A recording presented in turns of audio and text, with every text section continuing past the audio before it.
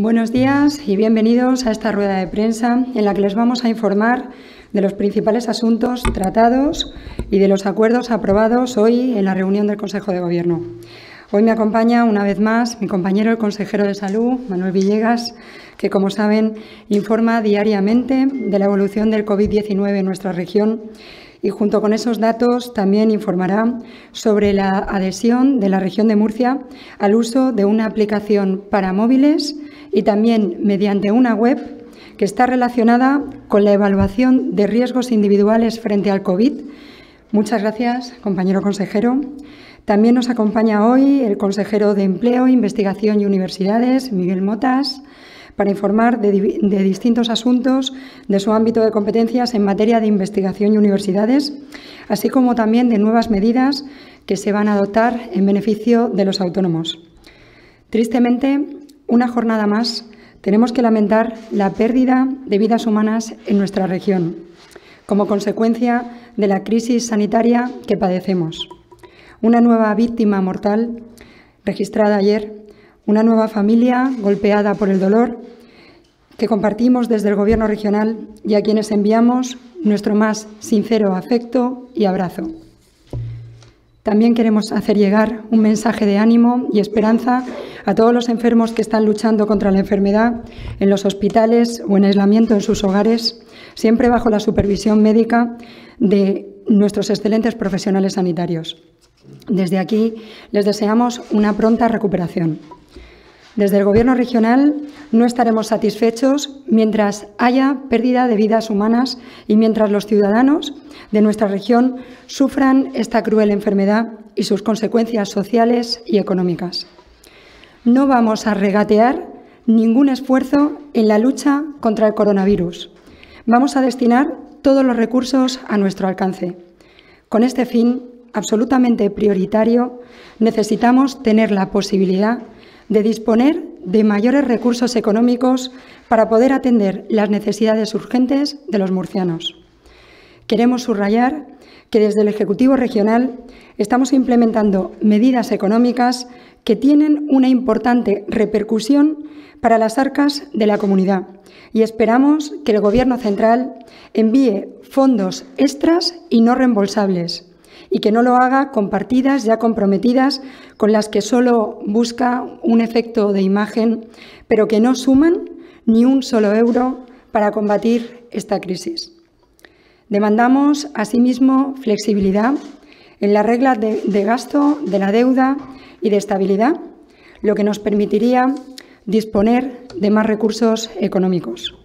Y reclamamos, además, que la reestructuración de los fondos europeos llegue también a las comunidades autónomas.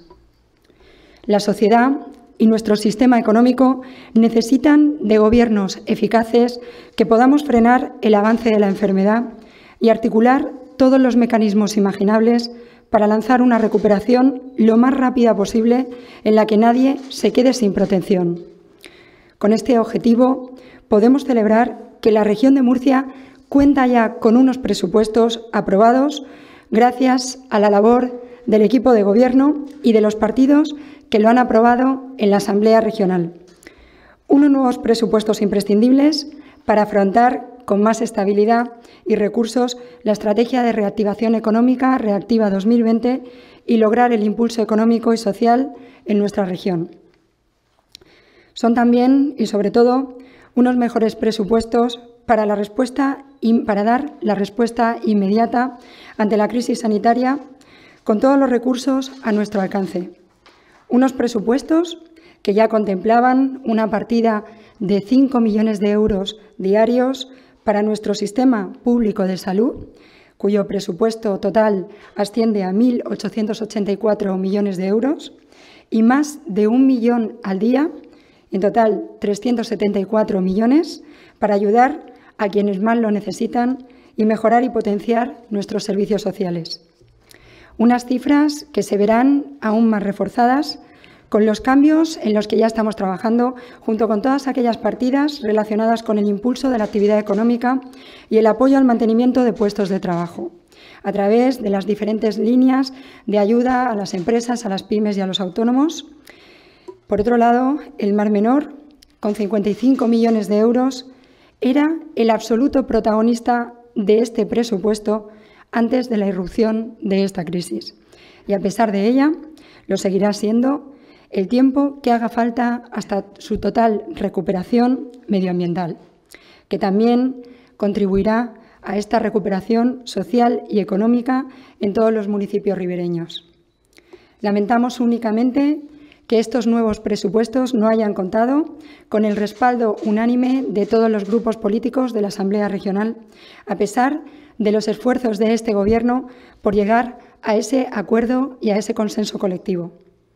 En todo caso, mantenemos nuestra línea de diálogo permanente con todos los partidos políticos que no integran este Gobierno, como por supuesto también con los agentes sociales y económicos y los representantes de todos los sectores económicos de nuestra región para impulsar todas las medidas necesarias frente a esta crisis. En esta lucha únicamente hay dos bandos, la enfermedad y quienes luchamos contra ella y sus terribles consecuencias. Antes de ceder la palabra al consejero de Salud, quiero subrayar que el Ejecutivo Regional nos preocupa enormemente el desescalamiento del confinamiento, tanto en el ámbito sanitario como en el de la recuperación de la actividad económica de nuestro país y de los ciudadanos de nuestra región de Murcia. Pedimos que cualquier medida esté acompañada de una hoja de ruta clara y no genere incertidumbre entre la población ni en nuestro sistema económico. Desde el Gobierno regional reiteramos una vez más nuestra lealtad y unidad para acabar con esta pandemia, dejando atrás cualquier legítima diferencia ideológica y política. Más unidos que nunca ante esta crisis sanitaria. Aparcamos, como digo, nuestras diferencias ideológicas para trabajar juntos por un mismo objetivo. A continuación, cedo la palabra a mi compañero el consejero de Salud para que nos informe de la situación actual del COVID. Compañero. Señora consejera, muchísimas gracias. Buenos días. La comparecencia en el día de ayer de nuestro presidente ante la Asamblea Regional se concretaba cómo se hará la distribución de mascarillas a la población en la región de Murcia. La comunidad comenzará a distribuir a partir de la próxima semana 500.000 mascarillas quirúrgicas a personas mayores de 65 años, al tratarse de uno de los colectivos más vulnerables y se hará a través de la receta electrónica en todas las farmacias de la región. Se distribuirán dos mascarillas quirúrgicas por cada persona mayor de 65 años de forma gratuita. Estas mascarillas comenzarán a repartirse, como digo, la semana que viene a través de las oficinas de farmacia y se pretende una distribución progresiva y escalonada, que evite los riesgos inherentes a las aglomeraciones. Incluso de esta manera la podrán recoger las personas eh, familiares eh, con la tarjeta sanitaria de estas. Por otro lado, se va a repartir una mascarilla higiénica a la población general que no disponga de este elemento de protección de forma igualmente gratuita. El compromiso alcanzado con dos empresas murcianas de Yecla es llegar a producir 80.000 mascarillas higiénicas a la semana que se irán distribuyendo paulatinamente a través de las farmacias de la región. La distribución de estas últimas mascarillas también será de forma escalonada y por tramos de edad en las semanas siguientes a la distribución a mayores, con el objeto de evitar aglomeraciones en las oficinas de farmacia que las dispensen. De todo ello y de los detalles de la distribución iremos informando cada semana, así como de los consejos para garantizar el uso correcto de las mismas. No podemos caer en la falsa apariencia de que el confinamiento ha acabado, pues el parte de cifras nos devuelve a la cruda realidad y nos recuerda diariamente que aún nos queda trabajo por hacer. Este parte, ayer a las 21 horas, reflejaba, según el Servicio de Epidemiología, las siguientes cifras. Un número de afectados total desde el inicio del brote de la pandemia de 1.721 personas, de ellas 1.460 casos activos constatados mediante PCR eh, y 261 casos acreditados mediante pruebas de inmunidad. El número de casos activos a esas horas era de 831 personas y el número de personas ingresadas, según ese último parte, era de 117, 28 de las cuales estaban ingresadas en cuidados intensivos. El resto, 714, en aislamiento domiciliario. Y por desgracia, como decía la consejera portavoz, la cifra más difícil de dar, cada día el número de fallecidos siendo este de 124 personas que nos han dejado. La, cara, la otra cara de la moneda, una vez más, la constituye en el incremento paulatino del número de personas curadas que ya asciende a 766. En cuanto al estudio de cero prevalencia que anunció el Ministerio de Sanidad, y que dirigirá el Instituto de Salud eh, Carlos III, comentar que por parte del mismo se ha comunicado la ampliación del muestreo inicial, pasando de 1.600 a 2.700 eh, personas las que participarán en dicha muestra y que el Gobierno regional colaborará en el estudio que se realizará para conocer la prevalencia de infección del COVID-19 y serán nuestros profesionales de atención primaria de los centros de salud los encargados de recoger los datos y las muestras a partir de la semana que viene. La situación en residencias y centros de personas mayores a día de ayer alcanzaba la cifra de 287 residentes afectados desde el que comenzara el brote y 61 fallecidos. Respecto a los trabajadores de estos centros, el número de contagiados desde el inicio de la pandemia se cifraba en 81 profesionales afectados. Y en cuanto al número de centros, siguen siendo cuatro las residencias de personas mayores en la región con residentes afectados y un centro de menores, en este último caso con un trabajador afectado. Hoy este Consejo de Gobierno ha acordado suscribir el convenio entre la Consejería de Salud y la Secretaría de Estado de Digitalización e Inteligencia Artificial que establece la adhesión de la región de Murcia al uso de la aplicación Asistencia COVID-19, que permite a los ciudadanos autoevaluar su probabilidad de sufrir un COVID-19. Eh, el uso de esta aplicación permitirá al usuario registrado, en función de los síntomas médicos que comunique y tras un triaje inicial, autoevaluar su probabilidad de estar infectado, así como acceder a una autoevaluación continua diaria a través de monitorización de la temperatura y parámetros básicos cada 12 horas eh, que se registre después de que se registre la aplicación, incluyendo un recordatorio de alarma. El sistema incluye un envío de notificaciones al número facilitado sobre las medidas preventivas más adecuadas, la evaluación en cada momento y proporciona consejos prácticos y acciones a seguir según la evaluación individual que se haga en cada caso. El riesgo sigue siendo alto y solo las medidas de autoprotección que hemos repetido hasta la saciedad de higiene, de lavado de manos, de distanciamiento social y el uso de mascarillas en caso de no poder asegurar este distanciamiento pueden minimizar el riesgo de contagio. La detección y el aislamiento de casos y sus contactos vuelve a ser básico para acabar con la pandemia y poder de esta manera salir todos juntos y que lo hagamos lo antes posible. Muchísimas gracias, consejera. Muchas gracias, compañero. Eh, bueno, ahora voy a pasar a informar de los asuntos eh, que hemos aprobado en Consejo de Gobierno. Hoy se ha dado luz verde a un decreto ley impulsado por la Consejería de Fomento e Infraestructuras y un decreto en materia de regulación de alojamientos turísticos, en concreto de las plazas en alojamientos rurales. Ambos textos comparten el objetivo de reforzar nuestras herramientas de crecimiento económico, lo que seguro contribuirá a una más rápida salida de la crisis provocada por el coronavirus una vez pase la fase más dura de la pandemia. Así, en primer lugar, el Consejo de Gobierno, a propuesta de la Consejería de Fomento, ha aprobado un decreto ley que incluye una amplia batería de medidas en materia de urbanismo, puertos y transporte con el objetivo de favorecer la rápida reactivación de la actividad económica a través de la agilización administrativa. Estas medidas que se integran en el Plan Reactiva de la región de Murcia se plantean con carácter de urgencia a la vista de las excepcionales circunstancias ocasionadas por la pandemia del coronavirus y su objetivo es ganar eficiencia y competitividad del tejido productivo mediante modificaciones normativas puntuales que contribuirán a, impulsar la actividad empresarial y la creación de empleo. Como anunció ayer eh, nuestro presidente en la Asamblea eh, Regional, una de las medidas es que el decreto ley contempla que las 650 familias que llevan más de 25 años pagando alquiler de viviendas de titularidad pública podrán pasar a ser estos, eh, estos mm, inquilinos podrán pasar a ser propietarios cumpliendo determinados requisitos. Por detallarles otros de los principales aspectos en el ámbito empresarial, el decreto favorece la instalación de placas solares en una apuesta por el desarrollo sostenible de la región de Murcia.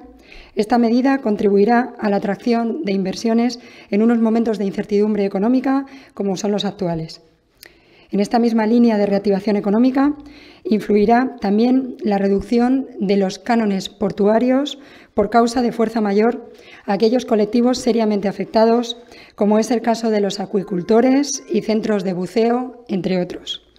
Asimismo, establece un registro general de usuarios para evitar un posible uso especulativo de los puntos de amarre en una situación como la actual.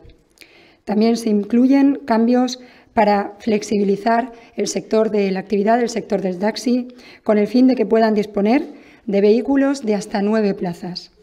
Además, se promueve la implantación progresiva de las tecnologías móviles y aplicaciones y se abre la, posibilidad de compartir taxi por parte de varios usuarios, al introducir la contratación de plazas individuales.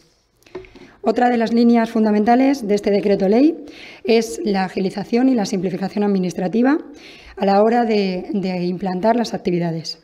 Así, realiza una reducción generalizada de los plazos administrativos en los procesos urbanísticos y una aceleración de los procedimientos de tramitación de los planes generales de los municipios y sus modificaciones puntuales.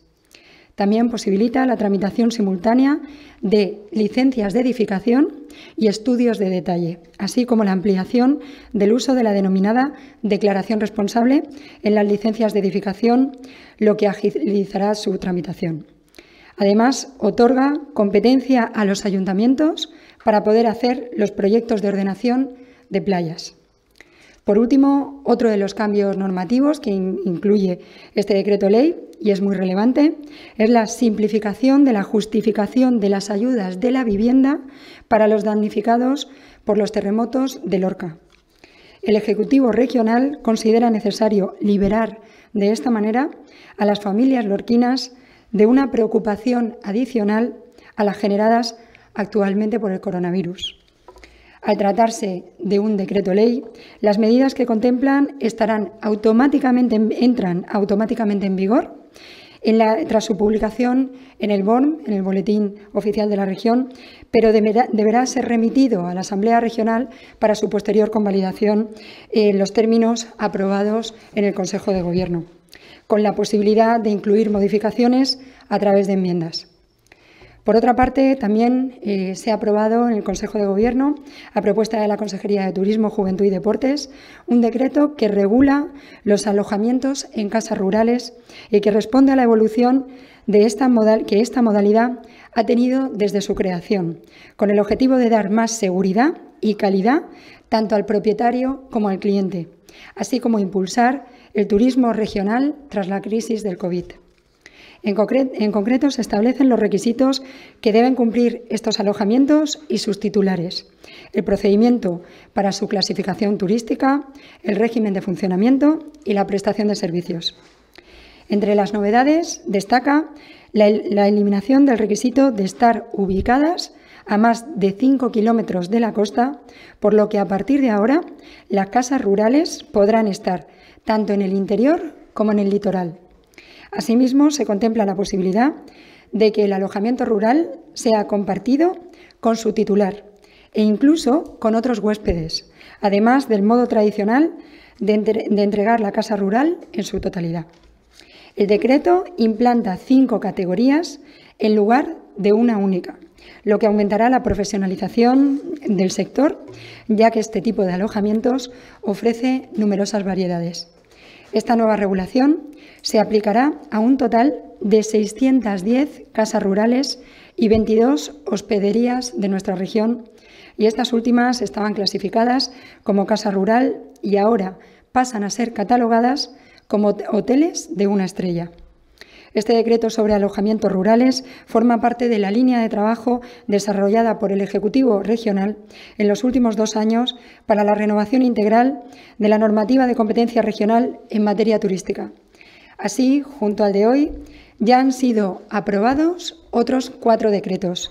El de establecimientos hoteleros en el año 2018, en abril, el de apartamentos turísticos en mayo del 2018, el de viviendas de uso turístico en julio del 2018 y el de albergues turísticos y juveniles en octubre del 2019. Una vez aprobada hoy esta nueva regulación sobre casas rurales, solo resta el decreto que regula los campings, que se encuentra actualmente en proceso de elaboración, para completar toda la regulación de los diferentes tipos de plazas de alojamientos turísticos.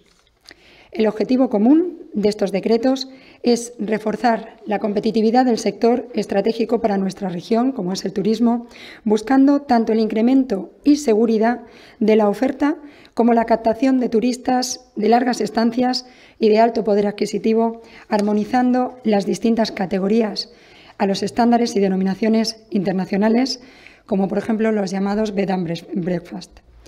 Cedo ahora la palabra al consejero de Empleo, Investigación y Universidades, quien va a detallar las medidas en las que está trabajando desde su departamento. Compañero. Muchas, gracias. Buenos días a todos. Lo primero, eh, unirme a, lo ya dicho por la portavoz y, manifestar mi más sincero pésame por los fallecidos en la región. Quería agradecer a la portavocía la oportunidad que me brinda de poder exponerles en primera mano los temas que desde nuestra consejería eh, hemos presentado en Consejo de Gobierno.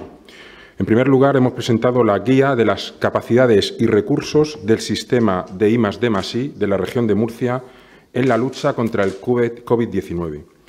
Un documento que es pionero a nivel nacional, promovido por la Dirección General de Investigación e Innovación Científica en el que se recoge toda la información acerca de las capacidades del sistema de ciencia y tecnología de la región con respecto al COVID-19. Esta guía pone de manifiesto el gran potencial de la región de Murcia en I+D+I en la lucha contra la pandemia, ya que todas las instituciones del sistema regional están trabajando en el COVID-19. De hecho, se han identificado 40 grupos de investigación los cuales han presentado solicitudes de fondos para 51 proyectos de investigación. 38 al Instituto de Salud Carlos III, 5 a la Unión Europea, proyectos europeos, 5 a una línea mm, frente al COVID eh, de investigación emitida por la Caixa y 5 que ya están financiados. En el documento aparecen todos los centros de investigación, organismos públicos y universidades de la comunidad autónoma. Citar la Universidad de Murcia, Universidad Politécnica de Cartagena, la Católica de San Antonio de Murcia, el Centro de Afología y Biología Aplicada del Segura, el CEBAS, el Instituto Murciano de Investigación y Desarrollo Agrario, el IMIDA, el Instituto Murciano de Investigación Biomédica, el IMIP, y la Asociación Empresarial de Investigación Centro Tecnológico Nacional de la Conserva y de la Alimentación.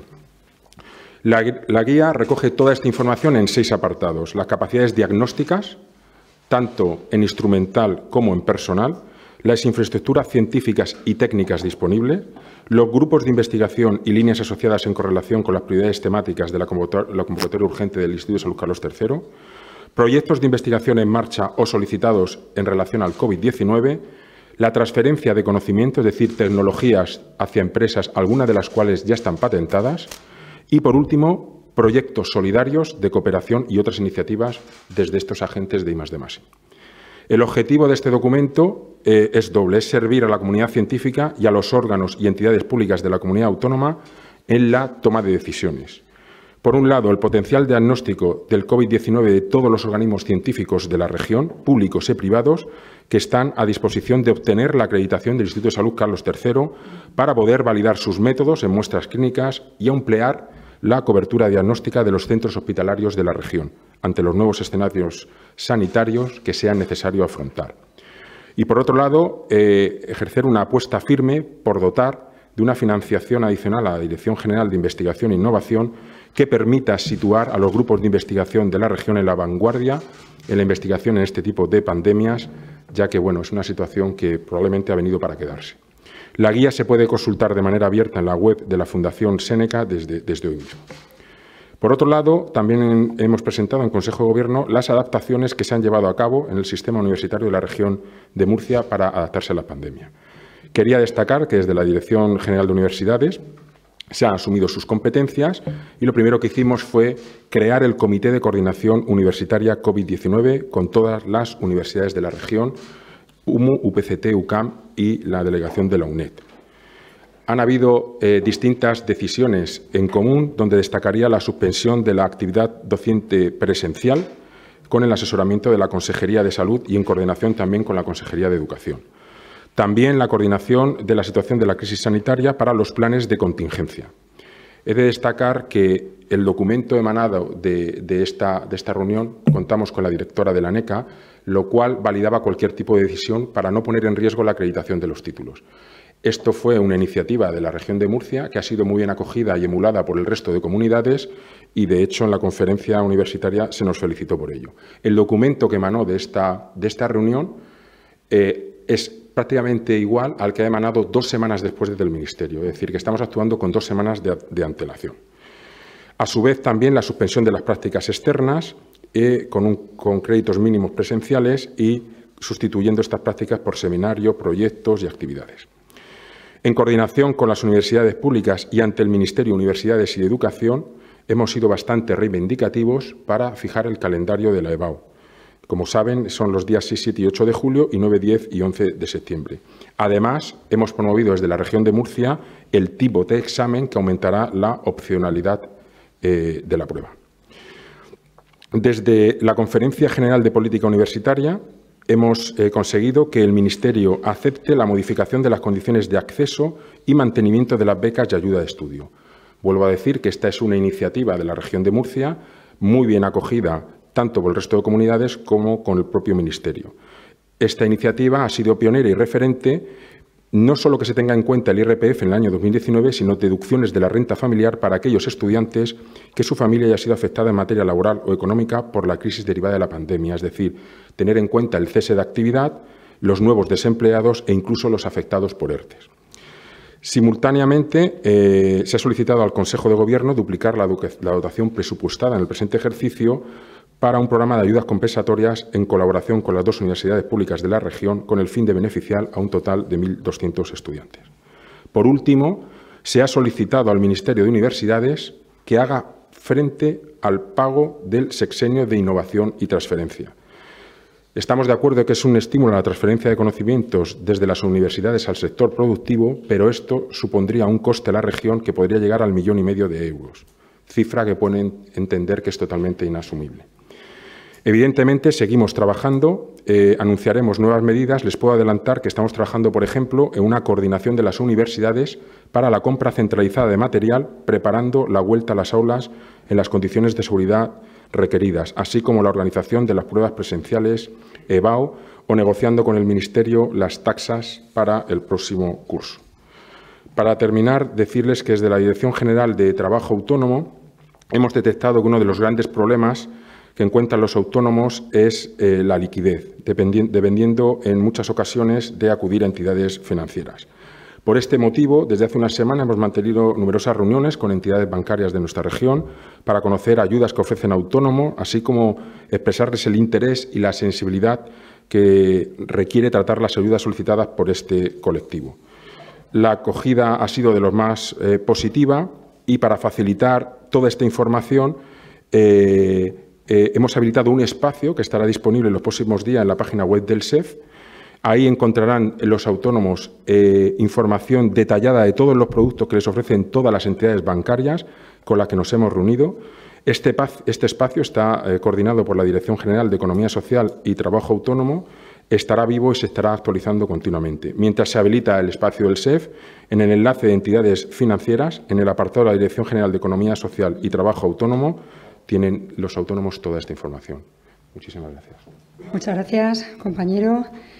Bueno, y ahora les quería informar de algunos temas que yo creo que son, eh, bueno, pienso que son de, mucho interés, y es eh, que el Comité Económico que se ha constituido eh, para llevar a cabo y para formular esta estrategia reactiva 2020 ha acordado destinar a las consejerías de empleo y de empresa que yo dirijo 30 millones de euros adicionales para reforzar ayudas a autónomos y a pymes ante un nuevo escenario que nos lleva a una reestructuración también que afecta a ambas consejerías para desarrollar la estrategia, como digo, reactiva 2020. Una reorganización que implica a varias direcciones generales, implica a la Dirección General de Comercio, Consumo y Artesanía, y a la Dirección General de Innovación Empresarial, Defensa del Autónomo y la PYME, que transfieren sus competencias entre sí. Así, para reforzar el comercio minorista y el reto de su digitalización, esta última pasará a denominarse Dirección General de Comercio e Innovación Empresarial y seguirá a cargo de ella María José Ros Olivo. Por su parte, las competencias de consumo y artesanía seguirán bajo la dirección de Carolina Espinosa.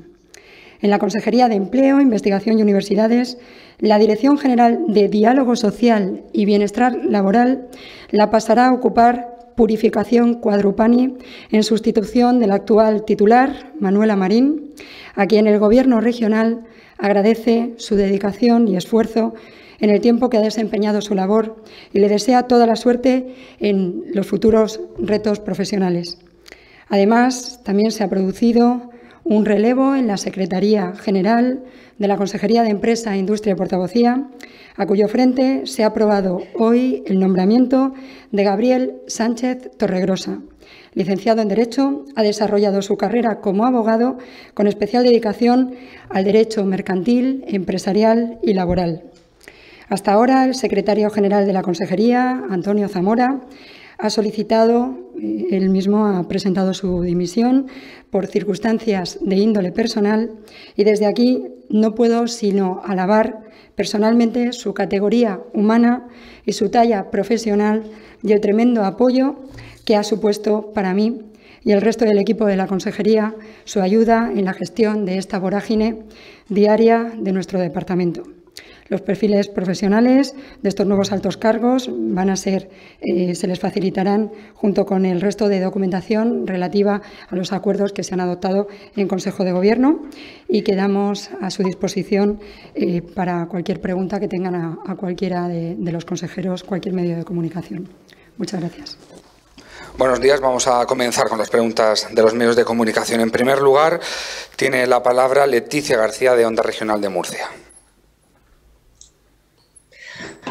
Hola, ¿qué tal? Buenos días a todos. Espero que se me escuche correctamente. Yo tengo una pregunta para cada uno de, los consejeros eh, que están participando en esta rueda de prensa. Eh, me gustaría comenzar eh, preguntándole al consejero de, Salud sobre el estudio de seroprevalencia. Unas 90.000 personas van a participar en, este estudio. Desde el Gobierno dicen que se va a prestar especial atención a algunas provincias y mencionan Madrid, Barcelona y, Murcia con, muestras más amplias. Eh, no sé si sabe usted, consejero, por qué Murcia es especialmente interesante en, este estudio. Eh, comentaba usted en su intervención que se ha aumentado la muestra aquí en la región de, Murcia.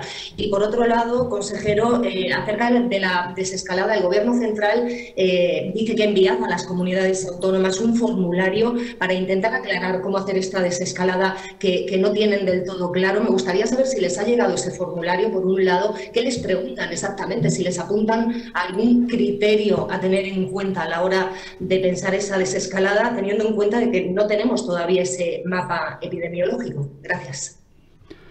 Bueno, respecto al estudio de seroprevalencia, efectivamente, eh, eh, nos, tocan una serie de número, un número eh, determinado de familias en base a que somos una, comunidad uniprovincial, lo han hecho por provincia, lo han hecho por comunidades y luego por población. Entonces, eh, sumando esos tres ítems, pues nos dan 2.700. No, no hay, vamos, que yo he visto la distribución que se ha hecho y está eso. Eh, lógicamente, comunidades como esta, que tenemos una provincia única, eh, pues a lo mejor proporcionalmente seguro que nos toca más, pero no hay otro motivo. No hay un motivo en definitiva de incidencia y tal, porque lo que buscan precisamente es una muestra representativa de todo el Estado español y que luego nosotros, con los datos que tenemos, con los datos que tenemos, seamos capaces de inferir también cosas eh, referidas a nuestra población en concreto, porque va a ser una muestra suficiente como para que tengamos resultados. Como digo, es en base a que somos una comunidad uniprovincial y en base a la población que tenemos, en base a eso, eh, se estiman que son 2.700 las personas que van a muestrear. Son unidades familiares, evidentemente. Y como saben, eso lo va a hacer eh, nuestros centros de salud, nuestros, nuestros médicos y nuestros enfermeros de los centros eh, de salud. Respecto al tema de la desescalada, mañana, eh, mañana hay una reunión eh, de todo el Consejo Interterritorial dedicado a esto. Es verdad que han enviado ya ciertas ideas, hay un grupo técnico que está trabajando al respecto, pero ahora mismo yo no me atrevería a adelantar nada, porque estamos, cada vez que, generamos o que decimos algo a nivel tanto nacional como eh, de aquí de, de, la comunidad autónoma, se generan ciertas expectativas que luego a lo mejor no se pueden cumplir. Y yo creo que a lo mejor es más conveniente que tengamos la certeza, es decir, que tengamos el cronograma claro, que los técnicos de todas las comunidades lo hayan puesto claro, que tengamos claro, cuáles van a ser los condicionantes para que esa simetría, que parece ser que sí que va a ser un hecho, va a ser un hecho en la que no todo el mundo vamos a desescalar al mismo tiempo, porque eh, eh, cuando esté claro el cronograma y cómo lo vamos a hacer, entonces lo podremos anunciar, porque si no lo que queremos son falsas expectativas y eso a la población lo que la va a poner muy nerviosa, como ha pasado desgraciadamente con el tema de los niños, que se crean unas expectativas y luego al final otras, así hemos sido un poco locos esta semana. ¿no? Entonces, cuando tengamos certezas y que le podamos decir a la población cómo se va a hacer, cómo va a afectar esto a la comunidad, ya lo anunciaremos oportunamente para no crear, como digo, falsas expectativas.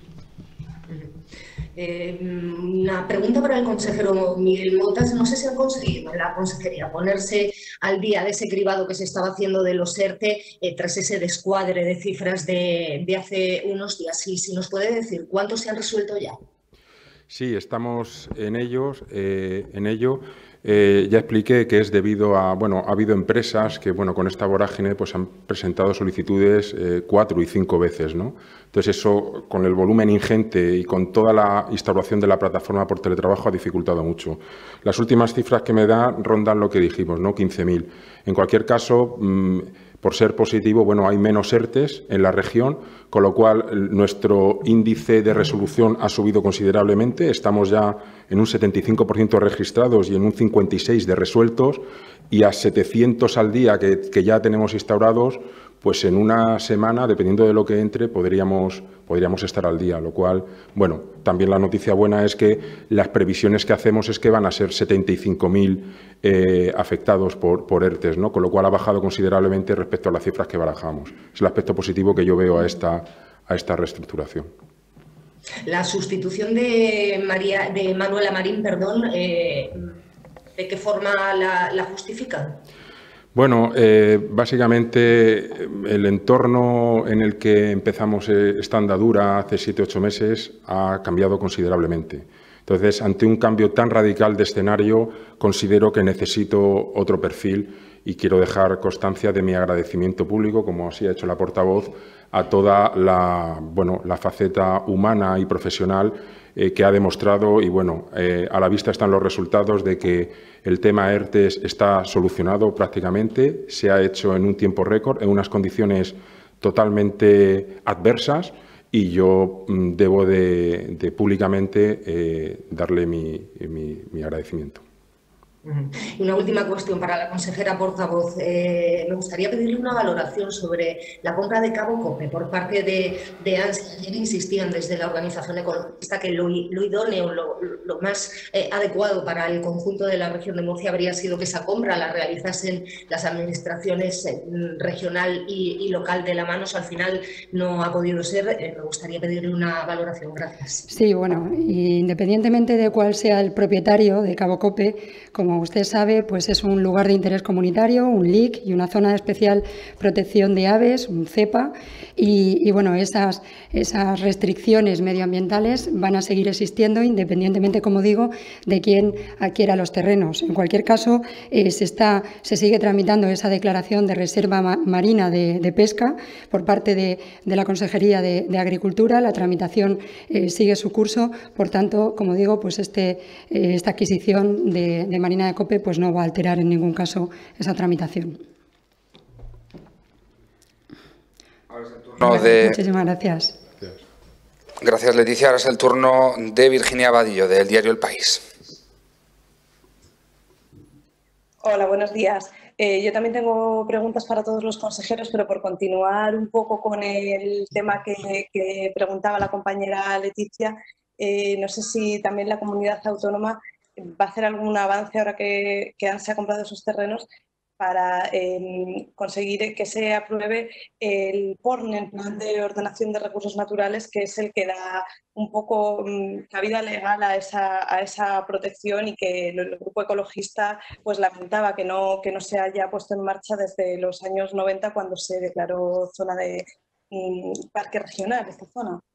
Bueno, yo no, tengo información al respecto. Lo que sí que me ha transmitido la Consejería de Agricultura es que toda la tramitación que estaba llevándose a cabo sigue su curso exactamente con la misma fluidez o con, la, con el mismo ritmo y, en este sentido, pues como digo, pues no, no, hay ninguna alteración. Pero no tengo más información al respecto. Yo me imagino que el consejero pues, le podrá informar de esa cuestión.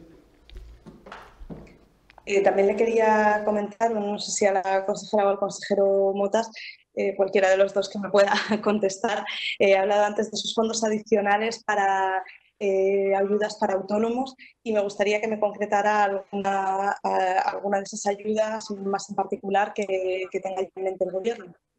Pues efectivamente son 30 millones de euros, 15 millones de euros van a estar destinados a la Consejería de, Empleo, Investigación y Universidades y 15 millones a la Consejería de, Empresa e Industria.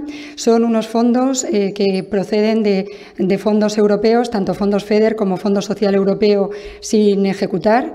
Eh, ha sido pues, eh, una negociación que se ha llevado a cabo en el seno del Comité Económico, teniendo en cuenta pues, que la política sanitaria, la política social y, las políticas de empleo y de empresa van a ser pues, los ejes en torno a los cuales van a girar pues, esta estrategia reactiva en la que estamos trabajando. Hemos creído que estos 15 millones de euros fundamentalmente se trata de, nosotros mm, no hemos podido eh, adelantar esa cifra hasta la fecha, puesto que no teníamos aprobado los presupuestos y hablar de, de cantidades con un presupuesto prorrogado pues no, no parecía lo más prudente o lo más conveniente. Entonces, una vez tenemos estos presupuestos, la próxima semana vamos a especificar eh, todas y cada una de las, de las medidas que se están llevando a cabo por parte de, ambas consejerías. Llevamos varias semanas trabajando en ello, no ha sido fácil, puesto que estamos hablando de un, de un margen muy pequeño, puesto que tenemos aproximadamente un 4% del presupuesto, es lo que, lo que se nos permitía, eh, lo, lo, que estaba eh, sin ejecutar, esos fondos que quedaban sin ejecutar. Eh, en torno a unos 8 millones de euros de Fondo Social Europeo y unos 26 millones de euros de fondos FEDER eh, que no, como digo, pues estaban, eh, quedaban por ejecutar y por tanto pues, pues ha sido una labor tediosa, complicada. Finalmente se ha llegado a esa cifra y la próxima semana indicaremos cuáles son, especificaremos cuáles son esas medidas que básicamente van a estar destinadas a facilitar la financiación o el acceso a la financiación de las pymes y de los autónomos. Es decir, eh, cuando un autónomo eh, percibe un, crédito, pues el, Info actualmente se está haciendo cargo de ese coste del aval y ese coste del interés. Pero lo que vamos a hacer es para aquellos autónomos y aquellas pymes que no pueden acceder a esos créditos, puesto que no se les concedan por parte de las entidades eh, bancarias, pues nosotros vamos a facilitarles ese acceso a la financiación que yo creo que ahora mismo es una de las medidas más importantes y que más están demandando por parte de las asociaciones de empresariales y de autónomos. ¿Y se han planteado también algún tipo de ayuda directa, por ejemplo, similares a las que ha puesto sobre la mesa la comunidad valenciana?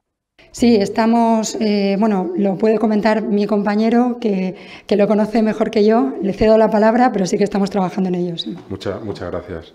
Eh, eh, nos preocupa muchísimo, como bien sabe, el Estado está bueno, ayudando a aquellos autónomos con unas pérdidas superiores al 75% pero a nosotros nos preocupa mucho el margen de autónomos que tiene unas pérdidas entre el 30 y el 40% y ese 75%.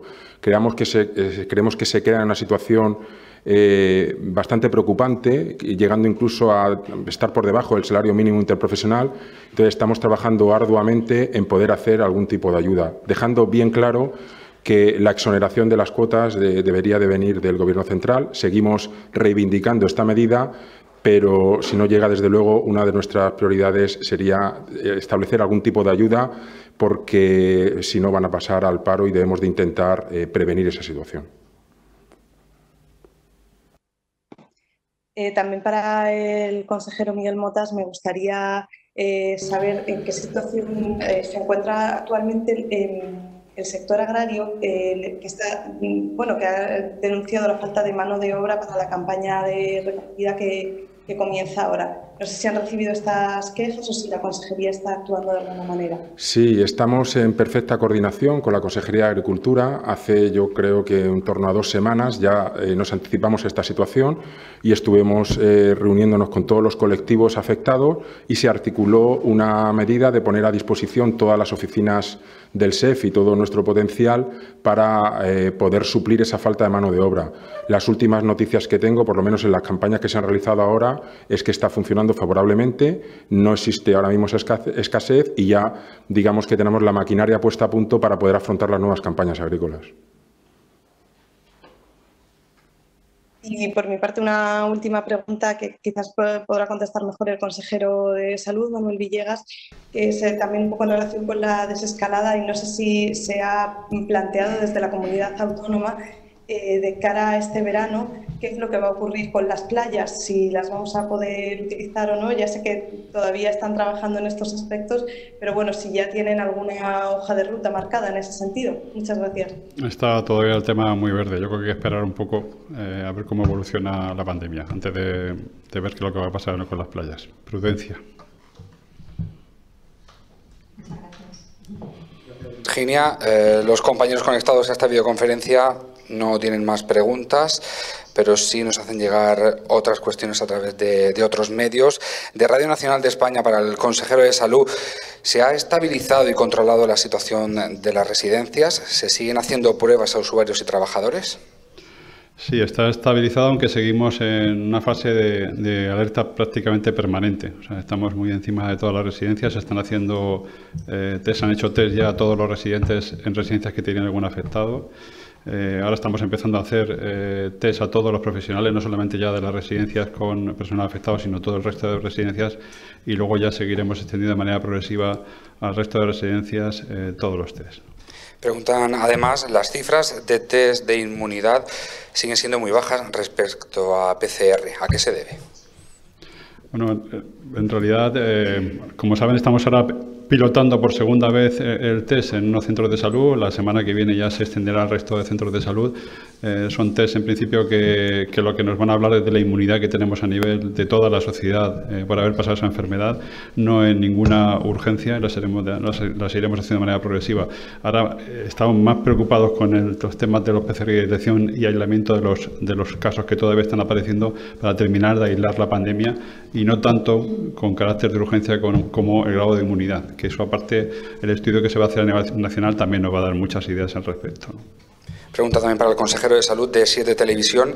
¿Se mantiene en los presupuestos de este año la apertura de 24 horas del servicio de hemodinámica en el Hospital de Santa Lucía en Cartagena? Y también desde Cartagena Diario preguntan cuánto tiempo se necesita para que esto esté operativo. Eh, es un compromiso de nuestro presidente, eh, Fernando López Miras, y están dentro de la memoria de actuaciones del Servicio Murciano de Salud. Entonces, eh, ya dijimos que se, se preveía que fuera antes de verano, cuando tuviéramos ya todo, todo, tanto el personal como los medios adecuados para ponerlo en marcha, y yo creo que el tema será pronto. esperamos que está, esto sigue en marcha y la programación para nada se ha modificado con el tema del COVID. También desde Siete Televisión el Gobierno ya ha anunciado que el estudio serológico que va a hacer el Gobierno se va a retrasar por lo menos una semana. Esta circunstancia, ¿cuánto podría retrasar el levantamiento de las restricciones?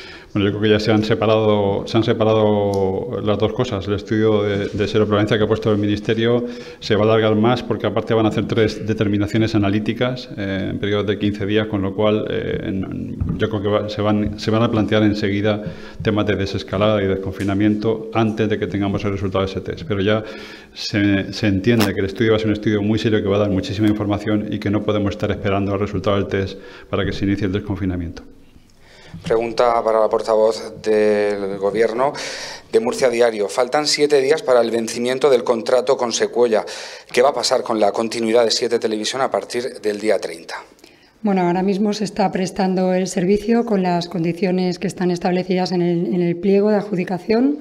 Eh, a finales de marzo se elaboró un contrato de emergencia pues, para continuar prestando ese servicio público, puesto que, lógicamente, pues, eh, y más en, esta circunstancia en la que nos encontramos, no se puede dejar de, emitir eh, la, televisión y, de, de, dar este tipo de información y se va a seguir prestando en las mismas condiciones hasta que haya un nuevo adjudicatario. Cuando haya un nuevo adjudicatario, lógicamente, pues el pliego y las condiciones serán otras. De salud de Radiocope, ¿es posible que algunos casos diagnosticados como gripe A a principios eh, de año, de gripe, perdón, a principios de año fueran casos de coronavirus? ¿A esos casos se les hará el test de anticuerpos? Bueno, como ser posible, puede ser posible. Eh, hoy veía algún documento científico en el que aportaba que en España probablemente hubiera llegado algún caso en febrero, con lo cual es, es como ser posible es posible. Si vamos a estudiar ahora retrospectivamente cómo se va a hacer un estudio de prevalencia, eh, veremos eh, qué datos da el estudio de prevalencia a nivel regional. Pero sí que es verdad que la curva, la curva de, la gripe no ofreció un segundo pico ni ninguna cosa rara en la evolución normal que tiene lo que es la, la, gripe epidémica cada año. Se veía un descenso normal como si no hubiera llegado ninguna cosa rara en febrero. Pero bueno, como ser posible, puede ser posible también para el consejero de salud de la cadena SER, llama la atención que desde el principio de la pandemia hay zonas de la región de Murcia que no se han visto muy afectadas o nada afectadas por el COVID-19. Mm. ¿Cómo puede ser el Valle de Ricote? ¿A qué cree que es debido a esta circunstancia? ¿Hay algún municipio que no haya registrado ningún caso? Si es así, ¿podría decir cuál o cuáles son? Bueno, está publicado en el, estudio que, en la memoria que hace cada tres veces a la semana el Instituto, el Servicio de Epidemiología pone exactamente cuáles son los municipios, aparte que se pueden ver eh, a través de Murcia Salud, en, el, Geosalud, que lo pusimos el otro día, para que se pueda ver, eh, cada ciudadano puede ver exactamente dónde están los brotes y dónde están ahora mismo los picos y, dónde están eh, los afectados por COVID la extensión de la epidemia tiene mucho que ver con el aislamiento de las, eh, de las zonas. Entonces, eh, lógicamente, municipios que están muy aislados, en los que no hay mucho trasiego de gente, pues es más, más difícil que llegue el virus ahí. Murcia es una ciudad y es una región en, en tránsito.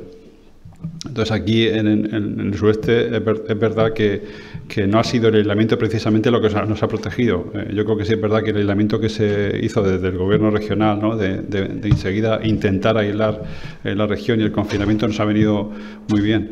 Pero mm, respecto a los municipios, son municipios efectivamente que están metidos en la, en la sierra, que están aislados. Eso también pasa en el norte de España. Hay municipios en los que hay muy poco trasiego de gente y el, el virus, lógicamente, que se transmite por las personas, pues es más difícil que llegue. ¿no? La cadena SER preguntan, cuando Salud interviene en una residencia, ¿cuánto personal destina a ello y durante cuánto tiempo? Bueno, depende, la intervención están todas intervenidas. En principio, eh, dependiendo de si hay brotes o no, la intervención es más o menos importante, pero todas están ahí mismo. Nosotros seguimos el control diario de cada una de ellas, de las 220 comunidades que tenemos, que no solamente son las residencias de mayores, sino residencias de personas con discapacidad y otros núcleos que también estamos estudiando. Diariamente se estudian eh, cómo están, diariamente si hay cualquier incidencia se actúa, hay un teléfono de contacto permanente entre todas las residencias y salud, un teléfono ahora mismo que es clínico, en el que hay un médico detrás que dice qué es lo que hay que hacer, si hay que tomar alguna medida. Ahora, en las residencias en las que han habido brotes, la, intervención ha sido directa. Hay enfermeros del Servicio Murciano de Salud porque en, en alguna de las residencias incluso el personal que había sanitario eh, se fue por distintas circunstancias y tuvimos, hay que contratar nosotros gente y hemos puesto personal del Servicio Murciano. Pero en cualquier caso, pues según las necesidades, pero prácticamente en todas estamos ahora mismo actuando. ¿no? Pregunta para la portavoz del Gobierno y consejera del diario La Verdad. El Partido Socialista señala que no se pudo alcanzar el pacto de presupuestos por el rechazo a una ayuda de 1.500 euros para los autónomos. ¿Piensan aportar alguna nueva ayuda regional para este colectivo? Bueno, precisamente esa negociación o ese intento por parte del Gobierno regional de llegar a un acuerdo con el Partido Socialista. Yo la viví en primera persona junto con el presidente López Miras y, bueno, niego la mayor. No, no se trata en ningún caso, el escollo estuvo en los 10 puntos que presentó el Partido Socialista. De hecho, el Gobierno eh, en todo momento ofrecimos nuestra colaboración, incluso nuestra disposición a estudiar esas medidas y el alcance económico de, esas medidas para llevarlas a cabo. Pero el escollo no, no estaba en esos diez puntos que ofrecía el Partido Socialista, sino en que el Partido Socialista pretendía que el Gobierno eh, subiera los impuestos, sobre todo el tramo, autonómico del IRPF, y, y nosotros pues, no estamos dispuestos a que los murcianos, que ya están soportando pues, eh, las consecuencias de esta crisis sanitaria, pues también tengan que, sobrellevar sobre sus hombros pues, también el, coste, el sobrecoste de, esta crisis, eh, subiendo sus impuestos. Creemos que, siempre le hemos dicho, que el dinero donde mejor está es en los bolsillos de los ciudadanos, en este caso de los murcianos, y nosotros no vamos eh, nunca a ceder ante un incremento de, impuestos, ¿no? una subida de impuestos. Cualquier otra medida, por supuesto, ya lo he dicho, no solo vamos, no se trata de 1.500 euros a los autónomos, sino de 30 millones de euros que se van a destinar tanto a autónomos como a pymes, de diferentes maneras y, a través de distintas vías. Entonces, por supuesto, la colaboración por parte del Gobierno regional, eh, esa voluntad de llegar a un acuerdo siempre ha estado, pero lógicamente no, no podíamos pasar por ese incremento de los impuestos. Pregunta para el consejero de Empleo de Radio Nacional de España. ¿Les parece, les parece haber entendido, eh, a, ver que hay un, error, vale, les ha parecido entender que van a ampliar los fondos para la investigación relativa al coronavirus? Le preguntan si puede precisar en cuánto. Bueno, ahora mismo eh, no lo puedo precisar, puesto que, bueno, dependemos, por supuesto, de los, eh, de los presupuestos que se acaban de aprobar. Nosotros, por agilidad, eh, nos alineamos con la convocatoria del Instituto de Salud Carlos III, porque ellos ya han, efectuado un, procedimiento de urgencia con evaluadores nacionales y demás. Sacar nosotros una independiente hubiese retrasado muchísimo, la ayuda hubiese llegado dentro de tres o cuatro meses. Al estar alineados con el Carlos III, creo que esta semana ya emiten, eh, digamos, aquellos proyectos que tienen financiación. Entonces, todos aquellos proyectos que se piden desde la región de Murcia, cualquier ente de investigación, y que no hayan recibido ayuda, Utilizando esas evaluaciones, a partir de unos mínimos, nosotros les dotaremos. Y aquellos que no tengan la ayuda que pidieron, que no haya llegado el Carlos III a cubrir sus demandas, les vamos a complementar. El montante va a estar en virtud de, la necesidad que detectemos en los proyectos que no han recibido ayuda. Por otra parte, preguntan, ¿puede señalar alguna de las investigaciones más destacadas que se desarrollan en la región sobre el COVID-19, además de las ya conocidas del Hospital de la Rixaca? Bueno, la verdad es que ha sido una gran sorpresa. Detectar, eh, son eh, investigaciones muy heterogéneas de distintos ámbitos de la ciencia y está entre colaborar con grupos de prestigio internacional para intentar avanzar en, una vacuna, hasta eh, distintos modelos para, mm, digamos, detectar la patogenia, es decir, ver cuál es el mecanismo de acción eh, y cómo actúa el virus para poder avanzar en tratamiento. Entonces, bueno, desde ciencia aplicada hasta ciencia básica, eh, muchísima colaboración y proyectos de los más dispares. Pregunta para la portavoz desde la agencia EFE. ¿Tienen el Gobierno regional una previsión de cuál será la caída del PIB regional este año? Bueno, como he dicho muchas veces, eh, ese, dato va variando eh, conforme va evolucionando pues, la, crisis sanitaria y también sus consecuencias económicas. Entonces, no podemos dar una cifra.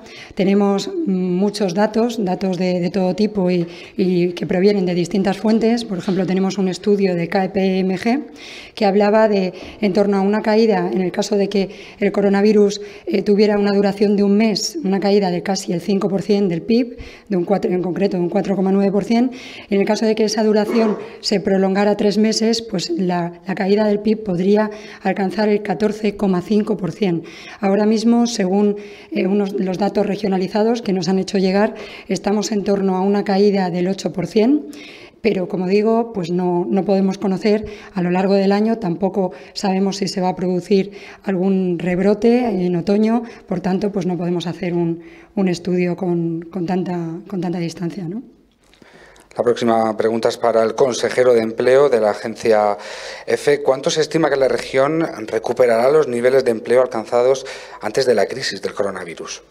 Bueno, eh, como pueden imaginar, ahora mismo la prioridad es, salvar vidas. Es cierto que tenemos que ir planteando escenarios, pero la cantidad de incógnitas a las que nos encontramos para hacer una previsión son innumerables. Por un lado, el entorno variable en aspectos sanitarios, si habrá rebrote o no, si se conseguirá una vacuna o no, y eso modificaría muchísimo esas cifras. ¿no? Pero también todas las decisiones que se tomen a nivel del Gobierno central en el desescalado en qué actividades económicas y en qué condiciones son demasiadas variables para poder hacer una previsión. Desde luego ya estamos trabajando en poner todas las medidas preventivas posibles para que sea, eh, para que sea cuanto antes, ¿no? pero ahora mismo no puedo decir una estimación.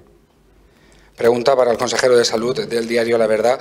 El Gobierno regional, con el plan de desescalada de niños que figura en el borrador de la vicepresidenta segunda, una hora al día y a menos de un kilómetro de casa, piensan que hay que ser más o menos restrictivos es que cuando, cuando la autoridad sanitaria que, hay, que el ministerio es el que dice cómo se va a hacer eso, pues lo que hacemos es acatar lo que hay que hacer y adaptarnos a lo que hay. Entonces, eh, a mí me parece, lo dije desde el principio, yo creo que los niños es conveniente ya que salgan a la calle. Yo estoy muy, contento en que se haya hecho así y muy contento en que se haya, eh, se haya perfilado de esta manera, ¿no? que los niños puedan jugar y que puedan correr, porque creo que para ellos es vital y no ir a establecimientos. O sea, creo que es mucho más razonable. Pero si son, si la hora es poco, si tal, pues ya lo veremos poco a poco cómo lo vamos haciendo, ¿no? Pregunta para el consejero de salud de la agencia EFE. El Gobierno ha pedido a las comunidades autónomas planes de desescalada. ¿Cuáles van a ser las medidas que incluye el Gobierno murciano y si tendrá en cuenta que hay 13 municipios con menos de 5 casos?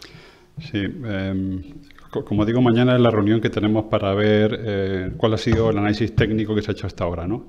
Yo creo que hay que esperar porque lo que, lo que decimos, cuando decimos que vamos a hacer algo, si luego resulta que a nivel del Ministerio o a nivel de las comunidades se decide otra cosa, pues lo que generamos son expectativas que luego no las podremos cumplir. Yo creo que tenemos nuestro plan, tenemos nuestras ideas.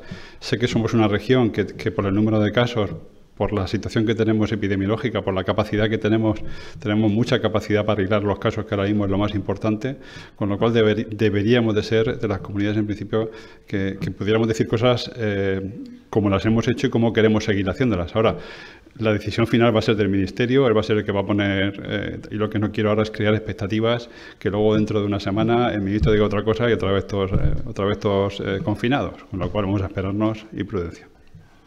Bueno, pues esas serían todas las preguntas que nos han hecho llegar en el día de hoy los medios de comunicación. Muchas gracias. Muchísimas gracias y nos vemos la próxima semana. Gracias a todos.